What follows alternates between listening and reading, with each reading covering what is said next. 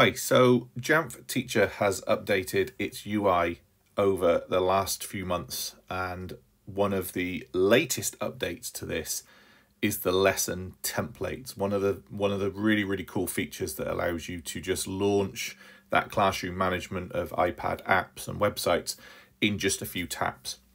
So if we go into our lesson templates, first of all let's have a look at what's changed. So if I jump into one of my lessons, uh, straight away you'll see over here we have this really quick start menu. So big start button, ability to duplicate these. So if you are teaching something which kind of uses the same apps, but maybe you want to put different websites in or take out a few, easy enough to do.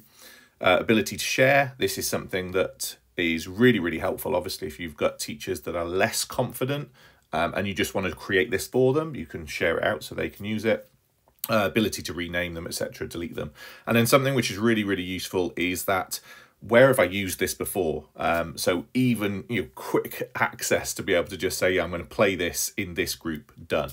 So at this point now, if I want to start this uh, selection of restrictions and allowed apps, allowed websites, etc., I just need to tap start, choose my class and how long I want it to go for, and that's going to apply that straight away. So how about making these then? Well, you know, really, really simple approach. Create a new lesson template, give that a name. In this case, uh, let's just talk about the, I don't know, the water cycle maybe. Give it a description, usually beneficial to be able to know what your specific lesson template is about. Definitely if you're sharing them. And then you have that same access as you did before. So we have that ability to allow the specific apps that you want just by clicking on them. You know, maybe we're going to do some work which is going to be a little bit creative. Uh, we want students to be able to showcase their knowledge around this. So you can just add in those, those uh, applications that are going to be very, very useful for that.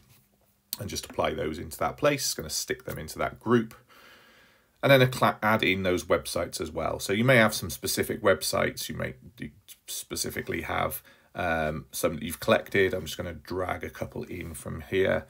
Um, simple drag and drop, really, really easy. Just if you've got a collection of those websites, just add them into that section. Again, tap apply on that. That's just going to have those on the page. So again, you can add additional ones to that should you need to. And then remember those restrictions are all there for specific things screenshots, screen recordings, probably very useful for this. Having a camera on, probably very useful. So I'm not actually going to change any of those, but useful to know that they exist. And that's done. At this point now, again, I just tap start, choose how long I want that to be applied for, choose the class I want to set it to, and it's going to send that out really, really quickly and easily. Once it's saved, it's in my saved section. So here's my water cycle one, and I have that ability to share that to uh, other groups, other teachers that might want to use it as well. So there we go.